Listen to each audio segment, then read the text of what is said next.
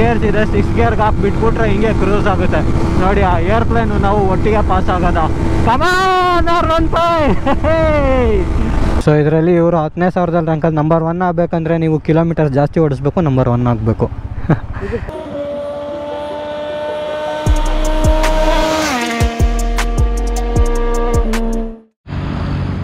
Hello ಸ್ನೇಹಿತರೆ, ನಮಸ್ತೆ. ನಿಮ್ಮ ಟ್ರಿಪಲ್ ರಶ್ ಕನ್ನಡ ಚಾನಲ್ಗೆ ಸುಸ್ವಾಗತ.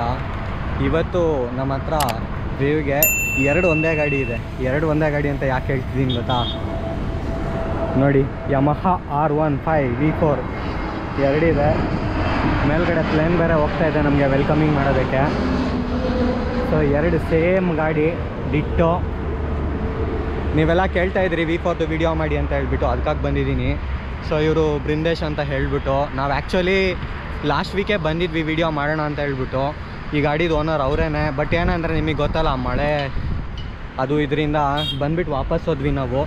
ಸೊ ಇವತ್ತು ಮತ್ತೆ ಬಂದ್ವಿ. ಈಗಲೂ ಸಣ್ಣ ಮಳೆ ಅನಿಯೋಕ್ಕೆ ಸ್ಟಾರ್ಟ್ ಆಯಿತು. ಸಣ್ಣದಾಗಿ ಒದ್ದೆ ಇದೆ ರೋಡ್, ನೀವು ನೋಡಿದ್ರೆ ಗೊತ್ತಾಗುತ್ತೆ.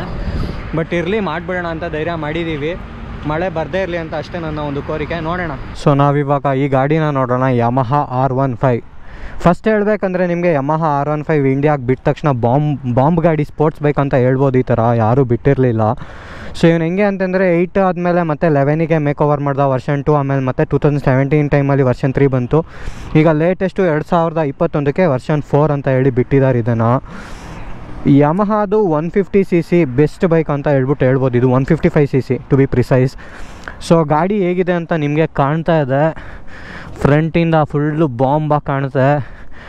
ಇದು ಆ್ಯಕ್ಚುಲಿ ಸಿಂಗಲ್ ಲೈಟ್ ಇದೆ ಬಟ್ ಇದರಲ್ಲೇ ಹೈ ಬೀಮ್ ಲೋ ಬೀಮ್ ಎರಡೂ ಬರುತ್ತೆ.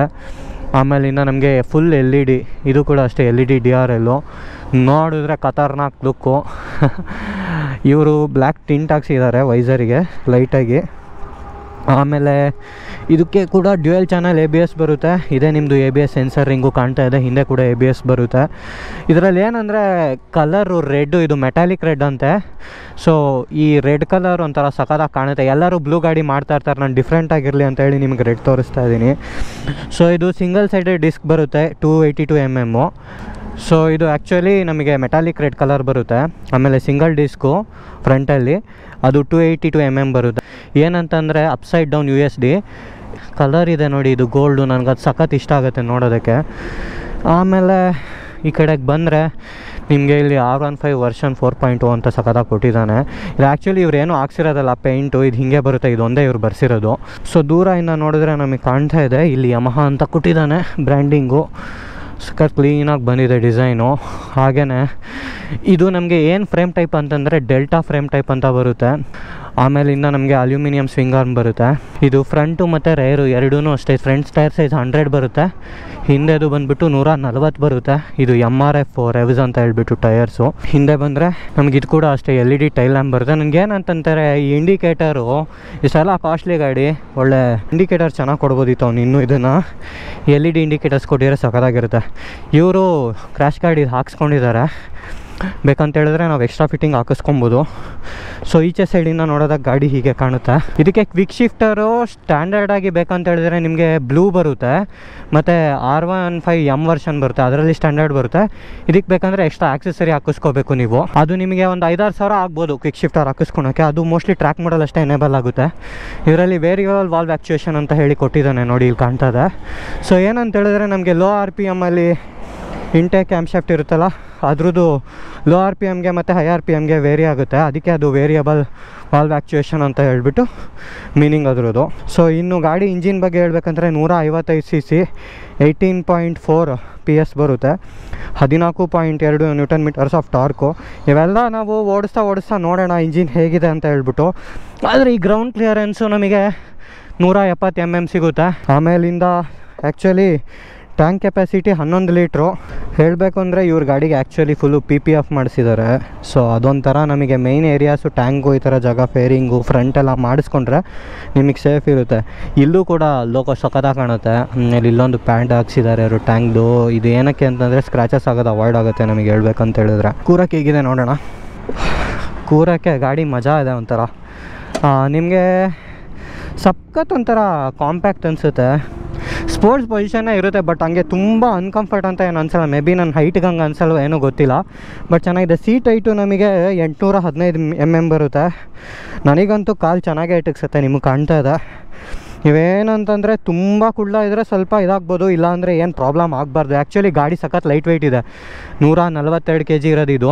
ಫ್ಯೂಯಲ್ ಟ್ಯಾಂಕು ಆಯಿಲು ಎಲ್ಲ ಸೇರಿ, ಹಾಗಾಗಿ ಗಾಡಿ ನಿಮಗೇನು ವೆಯ್ಟ್ ಅನಿಸಲ್ಲ. ಸೊ ಎಲ್ ಸಿ ಡಿ ಕೊಡ್ತಾನೆ ಇದು ಮೀಟರು ಆದರೆ ಇದು ಎಲ್ ಸಿ ಡಿ ಡಿಸ್ಪ್ಲೇ ಇಲ್ಲಿ ಗೇರ್ ಇಂಡಿಕೇಟರ್ ಇದೆ, ಇಲ್ಲಿ ಮೋಡ್ಸ್ ತೋರಿಸುತ್ತೆ ಟೈಮು ಆರ್ ಪಿ ಎಮ್ಮು ಕೆಳಗಡೆ ಸ್ಪೀಡು ಇಲ್ಲಿ trip cool and temperature fuel ಎಲ್ಲ ತೋರಿಸುತ್ತೆ ನಮಗೆ.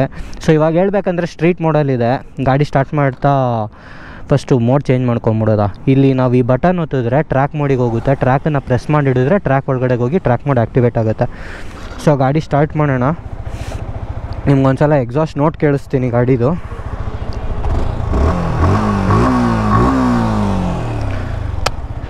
ಸ್ಮೂತ್ ಗಾಡಿ.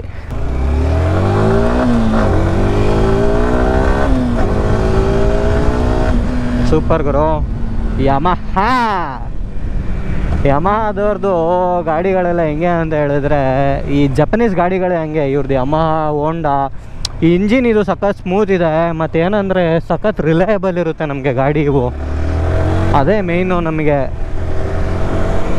ತುಂಬ ಜನ ಇದನ್ನು ತಗೊಳ್ಳೋದು ಆರ್ ಒನ್ ಫೈವ್ ಸ್ಪೆಷಲಿ ಅಂತ ಹೇಳಿದ್ರೆ ಕಾಲೇಜ್ ಹುಡುಗರುಗಳು. ಯಾಕಂದರೆ ನಿಮಗೆ ಆ್ಯಕ್ಚುಲಿ ಸ್ಪೋರ್ಟ್ಸ್ ಬೈಕ್ ಸೆಗ್ಮೆಂಟಿಗೆ ಎಂಟ್ರಿ ಕೊಡಬೇಕಂತ ಹೇಳಿದ್ರೆ ಈ ಬೈಕ್ಗಳು ಒನ್ ಆಫ್ ದ ಬೆಸ್ಟು ಯಾರಾದರೂ ಆ್ಯಕ್ಚುಲಿ ಟ್ರ್ಯಾಕಿಗೆ ಹೋಗ್ಬೇಕಂತ ಇದ್ರೂ ಈ ಆರ್ ಒನ್ ಫೈವ್ ಬೆಸ್ಟ್ ಗಾಡಿ ಯಾಕೆ ಅಂತ ಹೇಳ್ತೀನಂದರೆ ನಿಮಗೆ ಈಸಿ ಒಂಥರ ಫರ್ಗಿವಿಂಗ್ ಗಾಡಿ. ನೀವೇನಾರ ಮಿಸ್ಟೇಕ್ ಮಾಡಿದ್ರು ಕರೆಕ್ಟ್ ಮಾಡ್ಕೊಳಕ್ಕಿರುತ್ತೆ ಓವರ್ ಪವರ್ ಇರೋಲ್ಲ. ಎಲ್ಲ ಮ್ಯಾನೇಜಬಲ್ ಇರುತ್ತೆ. ಮತ್ತು ಪೊಸಿಷನು ಸ್ಪೋರ್ಟ್ಸ್ ಪೊಸಿಷನು ಸೊ ಟ್ರ್ಯಾಕ್ಗೆ ಹೇಳಿ ಮಾಡಿಸಿದ ಗಾಡಿ ನಿಮಗಿದು. ಅದರಲ್ಲೂ ಸಣ್ಣ ಸಣ್ಣ ಟ್ರ್ಯಾಕ್ ಇದ್ರಂತೂ ಇದು ಇನ್ನೂ ಬೆಸ್ಟು. ಸೊ ಗಾಡಿ ಓಡಿಸಿ ನೋಡೋಣ ಹೇಗಿದೆ ಅಂತ.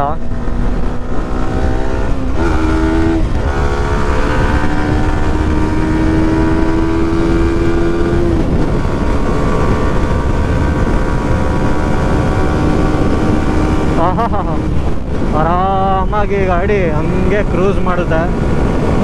ಏನು ಎಫರ್ಟೇ ತಗೊಳಲ್ಲ.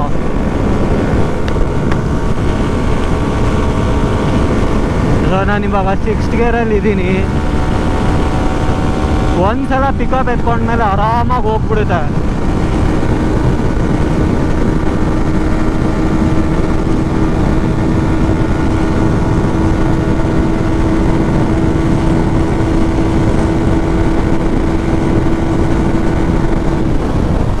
ನೀವು ಮತ್ತೆ ಮೋಸ್ಟ್ಲಿ ನಾನೇನೋ ಓದಿದ್ದೇನೆಂದರೆ ಅವ್ರ ವೆಬ್ಸೈಟಲ್ಲಿ ಕ್ವಿಕ್ ಶಿಫ್ಟರ್ ಆ್ಯಕ್ಟಿವೇಟ್ ಆಗಬೇಕಂದ್ರೆ ಟ್ರ್ಯಾಕ್ ಮೋಡಲ್ಲಿ ಇರಬೇಕಂತ ಬಟ್ ಅದೆಷ್ಟು ಸತ್ಯ ಅಂತ ಹೇಳಿ ಗೊತ್ತಿಲ್ಲ.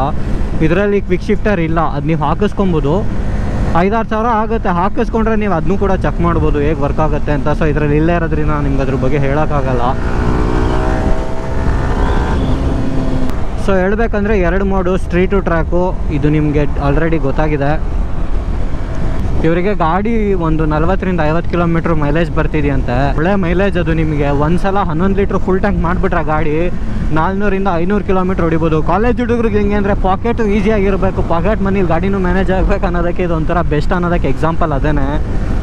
ಇನ್ನೊಂದೇನಂತ ಹೇಳಿದ್ರೆ ವಿಚಾರ ನಮಗೆ ಸರ್ವಿಸ್ ಕಾಸ್ಟ್ ಕೂಡ ಅಷ್ಟೇ ರೀಸನಬಲ್ಲು ನಿಮಗೆ ಎರಡು ಸಾವಿರ ಆಚೆ ಈಚೆ ಬರ್ಬೋದು ಸರ್ವೀಸು ನಾಲ್ಕು ಸಾವಿರ ಕಿಲೋಮೀಟ್ರಿಗೆ ಒಂದ್ಸಲ ಸರ್ವಿಸ್ ಮಾಡಿಸ್ಬೇಕಿದು first thousand ಆದಮೇಲಿಂದ.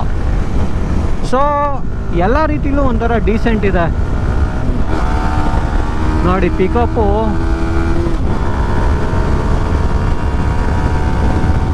one fifty C C ಗಾಡಿ ಇದಕ್ಕಿಂತ ಇನ್ನೇನು ಬೇಕು ಪಿಕಪ್ಪು ಅಲ್ವಾ? ಸೂಪರ್ ಗುರು. ಒನ್ ಟ್ವೆಂಟಿಯಲ್ಲಿ ಹೈವೇಯಲ್ಲಿ ಆರಾಮಾಗಿ ಕ್ರೂಸ್ ಮಾಡ್ಬೋದು ಒನ್ ಟ್ವೆಂಟಿ ಒನ್ ತರ್ಟಿ ತನಕ. ಅಂದರೆ ನಾನು ಹೇಳ್ತಾ ಇರೋದು ತುಂಬ ಎಫರ್ಟ್ ಆಗ್ದೇನೆ ನೀವು ಅಷ್ಟರಲ್ಲಿ ಕ್ರೂಸ್ ಮಾಡ್ಬೋದು ಅಂತ ವಿಂಡ್ ಬ್ಲಾಸ್ಟ್ ಏನು ನಿಮಗೆ ತುಂಬ ಫೀಲ್ ಆಗಲ್ಲ? ಯಾಕೆ ಅಂದರೆ ಸ್ಪೋರ್ಟ್ಸ್ ಗಾಡಿ, ಅದರಿಂದ ನಿಮ್ಗೆ ಆಲ್ರೆಡಿ ವಿಂಡ್ ಬ್ಲಾಸ್ಟ್ ತುಂಬಾ ಅವಾಯ್ಡ್ ಆಗಿಬಿಟ್ಟಿರುತ್ತೆ. ಇನ್ನೊಂದೇನಂತ ಹೇಳಿದ್ರೆ, ನೀವು ಆ ಹೋಗೋ ಸ್ಪೀಡು ನೂರು, ನೂರ ಇಪ್ಪತ್ತಕ್ಕೆಲ್ಲ ಏನು ಆ್ಯಕ್ಚುಲಿ ವಿಂಡ್ ಬ್ಲಾಸ್ಟ್ ಅಲ್ಲ? ಅದಕ್ಕೆಲ್ಲ ವಿಂಡ್ ಬ್ಲಾಸ್ಟ್ ಅಂತ ಹೇಳಬಾರ್ದು. ಲಾಂಗ್ ಹೋಗೋದಕ್ಕೆ ಡೀಸೆಂಟ್ ಆಗಿದೆ ಕಂಫರ್ಟ್ ತುಂಬ ಏನು ನಿಮಗೆ ಡಿಮ್ಯಾಂಡಿಂಗ್ ರೈಡಿಂಗ್ ಪೊಸಿಷನ್ ಇಲ್ಲ, ಹಿಂಗೆ ಟಕಿನ್ ಆಗಬೇಕಂತ. ಬಟ್ ಸ್ಪೋರ್ಟ್ಸ್ ಬೈಕ್ ತೊಗೋಬೇಕು ಅನ್ನೋ ಪ್ಲ್ಯಾನ್ಸ್ ಇದ್ದರೆ ನಿಮ್ಗೆ ಆಲ್ರೆಡಿ ಗೊತ್ತಿರುತ್ತೆ. ಸ್ವಲ್ಪ ಕಾಂಪ್ರಮೈಸ್ ಆಗಿರ್ತಾರೆ ನಿಮ್ಗೆ ಆಲ್ರೆಡಿ ರೈಡಿಂಗ್ ಪೊಸಿಷನಲ್ಲಿ ಬಟ್ ಜೀವನ ಮಾಡೋದಕ್ಕೇನು ತೊಂದರೆ ಇಲ್ಲ, ಓಡಿಸೋದಕ್ಕೆ ತೊಂದರೆ ಇಲ್ಲ. ಮಿರರ್ ಆ್ಯಕ್ಚುಲಿ ವಿಸಿಬಿಲಿಟಿ ಕ್ಲೀನಾಗಿದೆ ಚೆನ್ನಾಗಿದೆ ಬಟ್ ಸ್ವಲ್ಪ ಟೈಟ್ ಇದೆ ಇವ್ರದ್ದು ಮಿರರು ಅಡ್ಜಸ್ಟ್ ಮಾಡ್ಕೊಬೇಕು ಕರೆಕ್ಟಾಗಿ ವೈಬ್ರೇಷನ್ಸ್ ಏನಿಲ್ಲ ಆ ಥರದ್ದು ಮಿರರ್ಸಿಗೆ ಪಾಸ್ ಆಗುತ್ತೆ obviously vibrations because sports bikes ಅಂದ್ರೆ ಹಂಗೇನೆ ಬಟ್ ಗಾಡಿಯಲ್ಲೇನು ವೈಬ್ರೇಷನ್ ಆ ಥರ ನನಗೇನು ಫೀಲ್ ಆಗ್ತಾ ಇಲ್ಲ. ಸೊ ಅದು ಕೂಡ ಸಖತ್ತಾಗಿದೆ.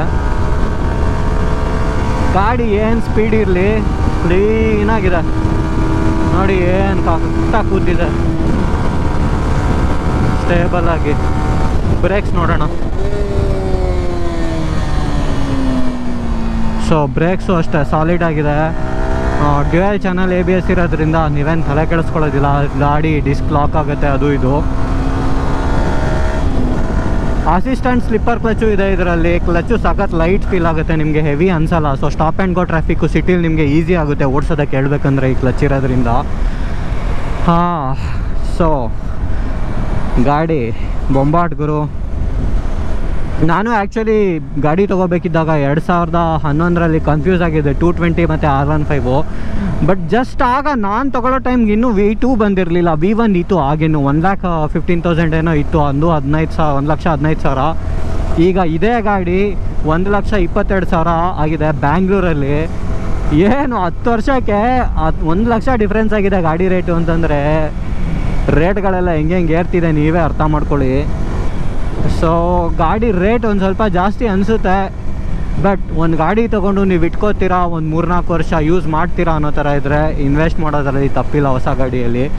ಯಾಕಂದರೆ ಟೆಕ್ನಾಲಜಿ ಗಾಡೀಲಿ ಗಾಡಿದು ಆ ಏರೋಡೈನಾಮಿಕ್ಸ್ ಎಲ್ಲ ಹಾಗೆ ಇದೆ. ನೀವು ಯೋಚನೆ ಮಾಡಿ ನೂರ ನಲ್ವತ್ತೆರಡು ಕೆ ಜಿ ಇರೋ ಗಾಡಿ, ನೂರೈವತ್ತೈದು ಸಿ ಸಿ ಹಾಂ ನಿಮಗೆ ಎಂತೆಂಥ ಗಾಡಿಗೂ ಚಮಕ್ ಕೊಟ್ಟು ಕಾಂಪಿಟೇಷನ್ ಕೊಡೋಷ್ಟು ಪವರ್ ಕೊಟ್ಟಿದ್ದಾನೆ.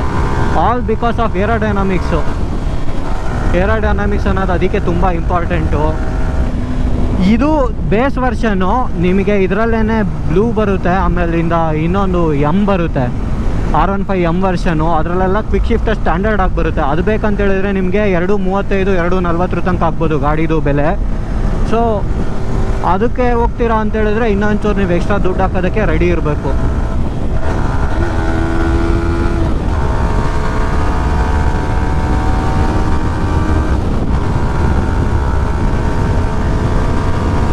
ಖಡಕ್ ಗಾಡಿಗರು ಒಳ್ಳೆ ಸ್ಟೆಬಿಲಿಟಿ ಇದೆ. ಗಾಡಿಯಲ್ಲಿ ಏನು ವಾಬ್ಲಿಂಗ್ ಇಲ್ಲ ಚೂರು ಆ ಕಡೆ ಈ ಕಡೆ ಹೊನ್ನಾಡುತ್ತೆ ಅನ್ನೋದಿಲ್ಲ. ಕರೆಕ್ಟಾಗಿ ಕೂತಿದೆ. ಸಿಕ್ಸ್ ಗೇರ್ಸ್ ಇದೆ. ಸಿಕ್ಸ್ ಗೇರ್ಗೆ ಹಾಕಿ ಬಿಟ್ಬಿಟ್ರೆ ಹಿಂಗೆ ಕ್ರೂಸ್ ಆಗುತ್ತೆ.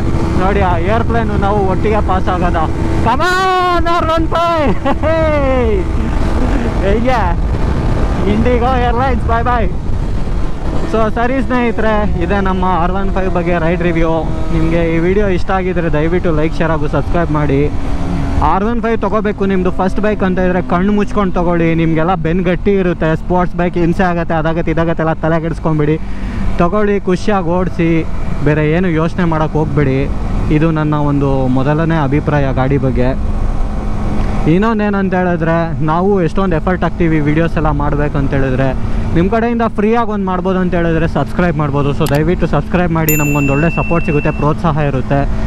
ನಮ್ಮ ನೆಕ್ಸ್ಟ್ ವಿಡಿಯೋದಲ್ಲಿ ಸಿಗೋಣ. See you take care love you guys bye bye R one ಫೈವ್ಗೆ ಜೈ. ಸೊ ಬೃಂದೇಶ್ ಅವ್ರಿಗೆ ನನ್ನ ಕಡೆಯಿಂದ ಒಂದು ಕೃತಜ್ಞತೆಗಳು. ಒಂದು ಒಳ್ಳೆ ಗಾಡಿ ಕೊಟ್ಟಿದ್ರು ರಿವ್ಯೂ ಮಾಡೋಕ್ಕೆ. Thank you Brindesh. ಇನ್ನೊಂದ್ಸಲ ಗಾಡಿದು ಕಂಪ್ಲೀಟ್ ಲುಕ್ ತೊಗೊಂಬಿಡೋಣ ನೋಡಿ ಹೆಡ್ಲೈಟ್ ಆನ್ ಇದ್ದರೆ ಹಿಂಗೆ ಕಾಣಿಸುತ್ತೆ ಗಾಡಿ? ಸೊ ಇನ್ನೊಂದೇನೆಂದರೆ ಇದರಲ್ಲಿ ಯಮಹ ಅವ್ರದ್ದು ಆ್ಯಪ್ ಇದೆ. ನೋಡಿ ಯಮಹ ಮೋಟರ್ ಸೈಕಲ್ ಕನೆಕ್ಟ್ ಅಂತ. ಸೊ ಆ್ಯಪ್ ಕನೆಕ್ಟಿವಿಟಿ ಆದರೆ ನಿಮ್ಗೆ ಇದರಲ್ಲಿ ಆಲ್ರೆಡಿ ಕನೆಕ್ಟ್ ಆಗಿರೋದು ತೋರಿಸುತ್ತೆ. ಕಾಲ್ ಬರ್ತಿದ್ರೆ ಹಿಂಗೆ ಬ್ಲಿಂಕ್ ಆಗುತ್ತೆ. ಹಿಂಗೆ ಬ್ಲಿಂಕ್ ಆದರೆ ಕಾಲ್ ಬರ್ತಿದೆ ಅಂತ ಅಲ್ವಾ ಬ್ರೋ ಇನ್ನೇನೇನು ಫೀಚರ್ಸ್ ಇದೆ ಆ್ಯಪಲ್ಲಿ ಇದು? ಇದು ರೆವ್ ಓಕೆ ರೆವ್ ತೋರಿಸುತ್ತೆ. ಲೈವ್ ಆಗಿ ಏನು ಮಾಡ್ತೀವಿ ಅದು? ಹಾಂ ಹಾಂ ಹಾಂ. ಸರಿ ಸರಿ ಸರಿ. ಇದು ಏರ್ ಟೆಂಪ್ರೇಚರು ವಾಟರ್ ಟೆಂಪ್ರೇಚರ್ ಏನಿದೆ ಅದು? ಹಾಂ. ಮೈಲೇಜ್ ತೋರಿಸುತ್ತೆ. ಓಕೆ. ಸೊ ಇದರಲ್ಲಿ ಲಾಸ್ಟ್ ಪಾರ್ಕ್ ಎಲ್ಲಾಗಿದೆ? ಅದೆಲ್ಲ ತೋರಿಸ್ಕೊಬೋದು. ಟೋಟಲ್ ಯಮಹ ಗಾಡಿಯಲ್ಲಿ ಮೈಲೇಜ್ ರ್ಯಾಂಕಿಂಗ್ ಏನಿದೆ? ಓಕೆ. ವರ್ಲ್ಡ್ ಅಲ್ಲಿ ಇಲ್ಲಿ ಲೆಕ್ಕನ ಇಂಡಿಯಾ ಲೆಕ್ಕನ? ಎರಡು ಇದೆ. ಓಕೆ. ಸೊ ಯಾರ್ಯಾರ ಹತ್ರ ಆರ್ ಒನ್ ಫೈವ್ ಇದೆ ಅದರಲ್ಲಿ ಯಾರು ಜಾಸ್ತಿ ಇದು ಮೈ ಮಾಡೆಲ್ ಹಾಂ ಹಾಂ ಹಾಂ. ಆಲ್ ಮಾಡೆಲ್ಸ್ ಹಾಂ ಹಾಂ ಹಾಂ ಹಾಂ. ಓವರ್ ಆಲ್ ಯಮಹಾದ್ ಯಾವ ಯಾವುದೇ ಮಾಡೆಲ್ ಇದೆ ಅದರಲ್ಲೂ ಕಂಪೇರ್ ಮಾಡ್ಕೊಬೋದು.